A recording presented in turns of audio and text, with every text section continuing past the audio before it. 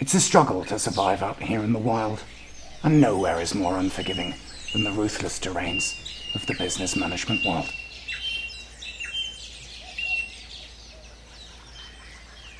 Follow me carefully. We've just stumbled upon a breed of owner manager native to these parts the artisan. As the alpha, the artisan should be focused on getting his designers out of danger, away from the oncoming floods of client work.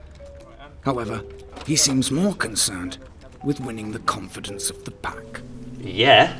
Yeah, yeah, yeah, yeah, yeah, yeah. Cool, man. I'm easy. I'm easy. Um, whatever you can get done. It's notoriously difficult to separate the artisan from the rest of his cohorts, as it's actually very rare to catch a glimpse of his managing skills in action. Our camera crew were camped here for three weeks before they eventually captured this fleeting moment by the kitchen sink. Oh, um, Sarah, do you mind taking that call to John? I'm just off to lunch. Without strong leadership, the others flounder helplessly as the tides of commissioned work wade in. Because the artisan has not yet learned the skills he needs to survive, the growth of his business is uncertain, and it is likely to perish. But just because you have the skills doesn't mean you're out of danger.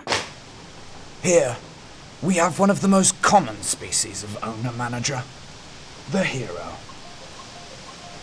After many years honing her skills out in the arduous and relentless plains of the manufacturing industry, the hero knows a thing or two about what it takes to survive. In order for her business to flourish, however, she must now pass her knowledge on to her cubs. But not everyone is a natural born teacher. So, if we could get the crucial 17th step down, the remaining 21.5 are a doddle. She has to act fast. With every day that goes by, she loses precious clients that help sustain the workforce throughout the harsh winters. But with few resources and time running out, this is a critical point in her managerial life. It's important the hero treads carefully, or she may well suffer the same fate as our next breed of owner manager. With so little actual work being completed, it's difficult to imagine a business surviving here at all. But against all odds, tucked away behind the manager's office door, the meddler frantically maintains his business, reformatting Toby's already perfectly serviceable spreadsheets.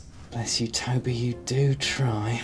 While the meddler is surrounded by a pack of strong and skillful workers, they must first earn the trust of their leader, which proves a formidable task. With such little confidence in his team, the meddler attempts to defend the business alone, leaving his colleagues abandoned and totally in the dark. Inevitably, starved of intellectual challenge, the meddler forces many members of his pack to leave in search of nourishment. However, some not only survive, but flourish in these burdensome conditions. Here, we witness the rare and elusive strategist, the business world's most agile predator.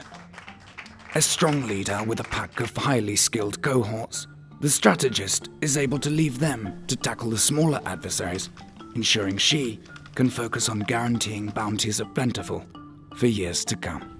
Though now highly adept, incredibly, the strategist was once too like her owner manager cousins, demonstrating the acute adaptability Sorry. of Uh, life. excuse me, what is this?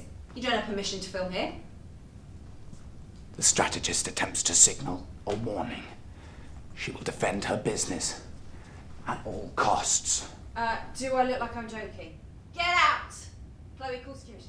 All right, Daddy, forget it, forget it, forget it. Mike, the tripod, the tripod.